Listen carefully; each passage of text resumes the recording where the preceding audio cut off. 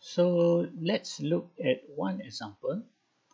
Consider a control of liquid temperature in a tank as shown in the figure below. The control variable is the liquid temperature or TL. This temperature depends on many parameters in process. For example, the input flow rate via pipe A and then the output flow rate via pipe B the ambient temperature TA the steam temperature TS the inlet temperature T naught here the water inlet temperature and the steam flow rate QS the steam flow rate through the steam tube known as QS in this case the steam flow rate is the controlling parameter chosen to provide control over the other parameters. Uh, in this case uh, liquid temperature. If one of the other parameters changes, a change in temperature results. So meaning that the other parameters, for example, TO, the flow rate QA, QB, as well as the temperature of the steam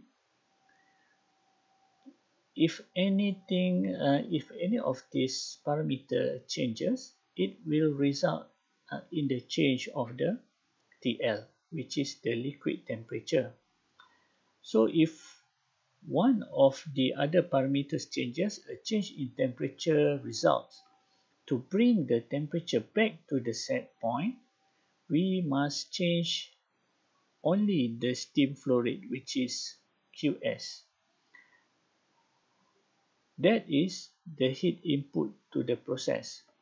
So this process could be described by the following uh, process equation later I will share.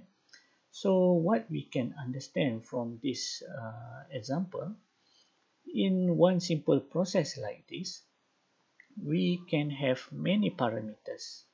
For example, just now the T0, QA, TA, QB, QS and TS. All these parameters affect the value of TL. Any changes to the other parameters, the TL will change. But between all parameters, we need to choose one, only one, as the controlling parameter. So to choose the controlling parameter, it is important to choose one the most significant parameter that can change the temperature. In this case, we have chosen the QS or the steam flow rate. If the temperature goes down below a set point, we will increase the uh, steam flow rate.